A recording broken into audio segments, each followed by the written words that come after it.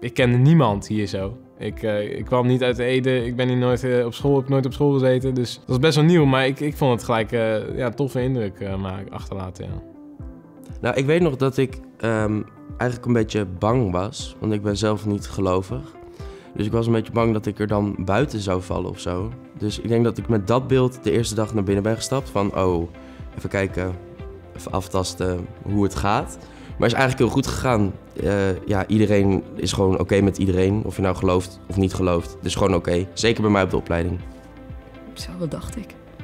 Dat is wel even geleden. Hoe oprecht geïnteresseerd de studenten waren die hier al rondliepen. Dus er waren een paar studenten bij die die opleiding deden. En die waren echt geïnteresseerd in waarom ik hier was. En wat mijn proces was van studiekeuze. En hoe ik erover dacht. En wat hun ervaring daarin was en zo. Dus dat vond ik wel heel tof. Ik dacht, hé, hey, er zijn hier mensen die echt geïnteresseerd zijn in mij.